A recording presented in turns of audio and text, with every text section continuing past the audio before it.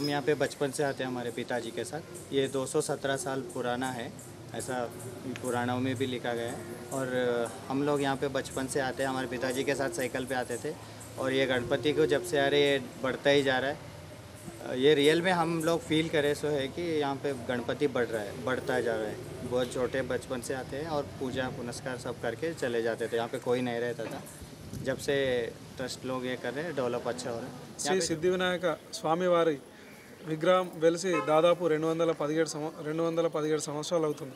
కానీ మాకు ఊహ తెలిసి నుండి అంటే గత ఇరవై రెండు సంవత్సరాల నుండి కూడా మేము ఈ ఆలయానికి వస్తూ ఉంటాం.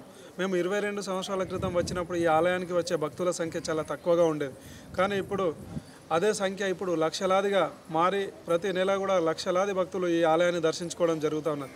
ఇక్కడ కనుక భక్తులు వస్తే తమ యొక్క కోరికలన్నీ ఆ సిద్ధివినాయక స్వామి నెరవేరుస్తాడనే ఆశతోని చుట్టుముట్టు రాష్ట్రాలలో ప్రజలు చాలా దూరం నుండి కూడా వచ్చి తమ కోరికలను చెప్పుకుంటూ నెరవేర్చుకుంటూ పోతారు.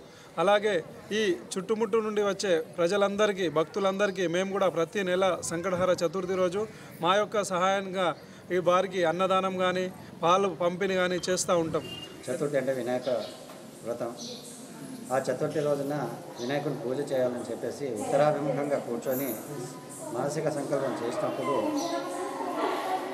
అతనికి ఇచ్చిన వరప్రభావం వలన స్వయంగా వినాయకుడు విచ్చేసి ప్రత్యక్షమై పూజలు అందుకొని శిలారూపంలో వెలిసాడట ఆ శిలారూపమే ఇప్పుడు మనం చూస్తున్నటువంటి ఈ పెద్దనైనటువంటి విగ్రహం.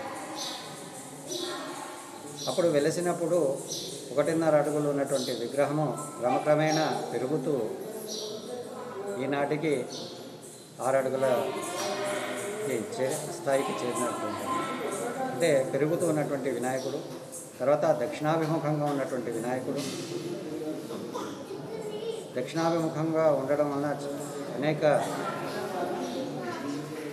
అద్భుతమైనటువంటి శక్తులు కలిగి ఉన్నటువంటి వారు ఎవరు ఏమి కోరినా